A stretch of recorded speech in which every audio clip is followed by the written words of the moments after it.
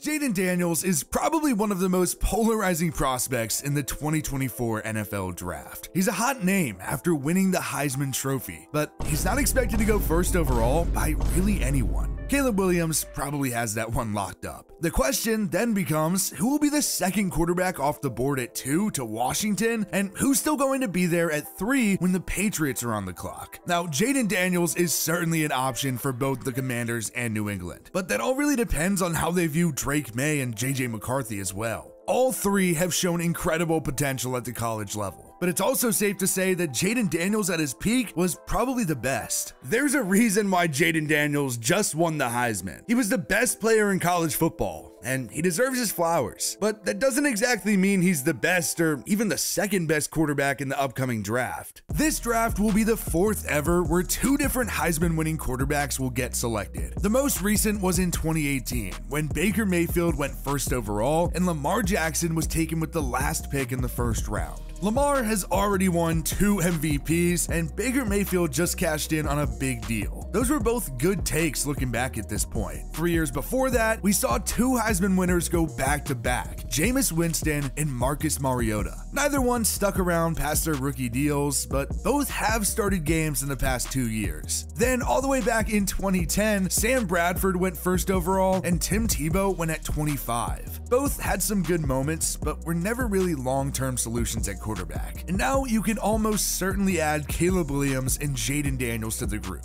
The 22 year old Caleb will likely go first to Chicago, and Daniels should follow soon after, after a successful and long five years in college. There's a lot of film on Jayden Daniels just because of how long he started in college, but there's no doubt that his best year was last year. Jayden Daniels was absolutely phenomenal last season. LSU started off the year with a tough loss to number 8 Florida State, where he threw a single touchdown and had a pick, but that actually ended up being his only game of the season where he only threw threw for a single touchdown. Daniels had four or more total touchdowns in nine games last year. In mid-November against Georgia State, he threw for six touchdowns and ran for two more. And he followed it up with four passing touchdowns against Texas A&M the next week. He was fun as hell to watch, and it was pretty evident that he was playing great football. But there were still plenty of questions about him winning the Heisman. LSU lost three games on the year, and were certainly not going to be a college football playoff team. Other than the loss to FSU, they lost to number 20 Ole Miss in a shootout and lost to number 8 Alabama by two scores. LSU was just 1 in 3 against ranked opponents, with the lone win coming against number 21 Missouri by 10 as Daniels had 3 passing touchdowns and 1 rushing. The Tigers just didn't have as much team success compared to some of the other frontrunners for the Heisman, like Michael Penix or Bo Nix did. But Jayden Daniels was clearly the most valuable player in the country. He ended up throwing for 3,812 yards, 40 touchdowns, and 4 interceptions, and rushed for 1,134 yards and 10 touchdowns. Simply put, he was sensational sensational. He had a huge breakout Heisman season just one year after transferring to LSU. But it's not the first time we've seen that story. Joe Burrow essentially did the same thing. He transferred from Ohio State after three seasons and had a solid first season before breaking out and winning the Heisman and a national championship en route to being the first overall pick. Now, Daniels won't go first and doesn't have a ring, but it's a similar story as both transferred to play for a new or somewhat new head coach and dominated in year two.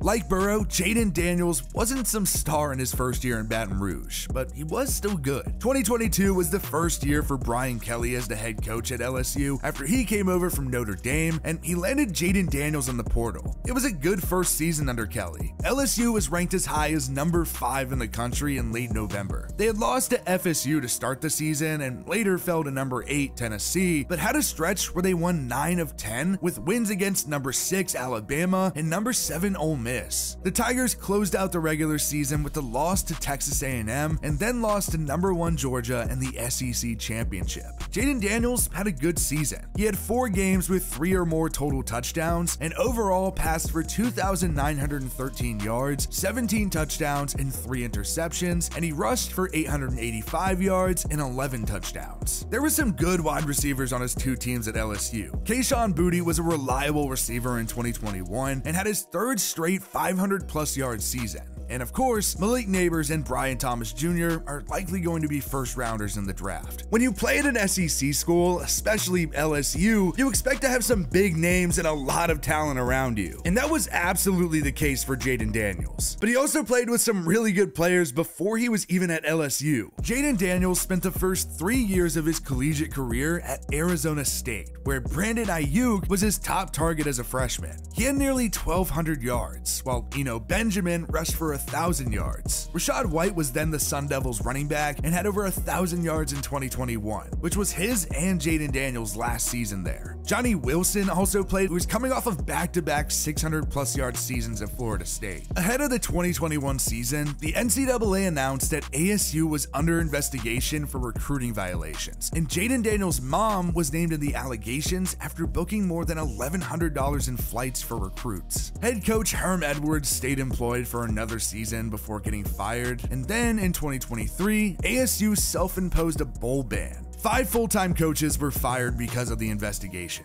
including the alleged ringleader, now Raiders head coach, Antonio Pierce. It was a mess, and that's why Jayden Daniels decided to jump to LSU, which clearly worked out for him. He did once show a lot of promise at ASU, especially as a freshman in 2019. He started in 12 games for the Sun Devils and passed for 2,943 yards, 17 touchdowns, and 3 interceptions, and rushed for 355 yards and 3 touchdowns. Arizona State went 8 5 overall and picked up big wins over number 18 Michigan State, number 15 Cal, and number 6 Oregon with Justin Herbert. The 2020 season was obviously a mess for everyone because of COVID, but Daniels got to start in 4 games and had 701 yards and 5 touchdowns to an interception, adding 223 yards and 4 touchdowns on the ground. In 2021, Arizona was ranked number 25 in the preseason AP poll, but they didn't really live up to the hype. They beat number 20 UCLA and lost to number number 23 BYU. The Sun Devils went 8 and 5 and Jayden Daniels really struggled throwing the ball. He finished the year with 2,380 yards and 10 touchdowns with 10 interceptions. He did, however, have a big season rushing with 710 yards and 6 touchdowns. It took some time and a transfer to LSU, but Jayden Daniels did develop into a very good college quarterback. Jayden Daniels was a top recruit going into college and is now a top prospect going into the draft.